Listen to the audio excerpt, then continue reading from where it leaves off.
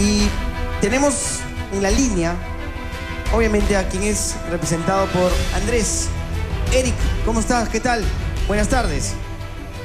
Bueno, eh, más que contento, eh, tengo agradecido, agradecido por todos esos fans fieles que, que todos los días eh, manifiestan su, su,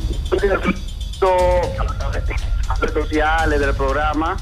Y nada, es lamentable que hoy día de, eliminación no esté presente, pero como dije hoy temprano, mi apoyo está 100% en Andrés. Andrés es un chico desde el principio ha demostrado que tiene el interés de quedarse, eh, ha dado todo para, para por su equipo, su camiseta, en realidad. Y, nada, también, por ejemplo, a Débora, eh, yo la considero porque perteneció al equipo, eh, pero ya es una es un que elegir quién de los dos se va. Y, y nada, en este momento no puede estar allá por ya causas ajenas a mi persona. eh, Eric, Eric, Eric, justo eh, eso quería, justo eso quería preguntarte, porque la verdad que mucho se ha especulado con respecto a tu ausencia aquí en combate, y la verdad es que nos moremos de curiosidad de, de saber qué es exactamente lo que está pasando, por qué que no estás en el programa.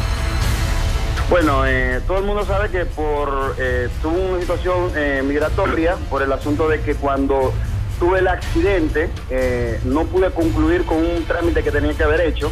Eh, entonces el asunto de tener la terapia y todo eso no pude volver a retomar. O sea, aquí yo tuve que hacer otra vez, eh, hacer un trámite para poder llegar. Pero ya todo está, se supone que todo está bien, ya ahora mismo ya todos mis papeles están al día.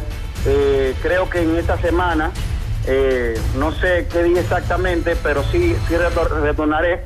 Eric, te pido- espero llegar. Eric, te pido un favor. Te pido un favor. No te muevas de ahí, por favor, porque nosotros tenemos que ir a un corte comercial y venimos con más aquí en combate, porque combate es.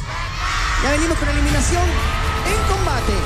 ¿Quién será? ¿Débora o Eric Sabater, representado por Andrés?